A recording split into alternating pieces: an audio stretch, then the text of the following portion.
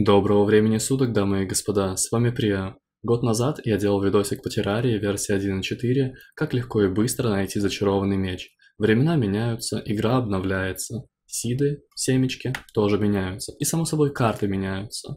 Я сегодня решил зайти на тот же сид, посмотреть, можно ли найти зачарованный меч, а оказывается нет. Таким образом, видео просто-напросто устарело. Я хочу вас отблагодарить, так как вы набрали почти 100 тысяч просмотров на этом видосике. Это просто замечательно. И я делаю новый видосик с э, новым сидом, с новой картой.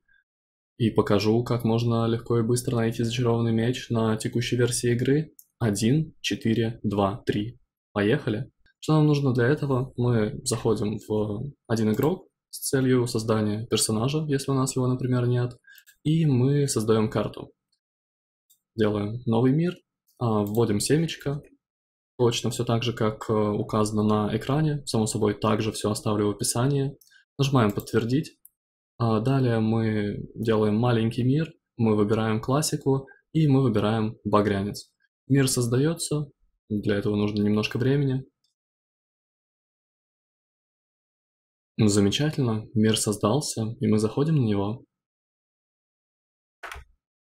Идем направо, на восток, и нам нужно достичь 3000 примерно блоков. 2870, если прям точно-точно рассудить.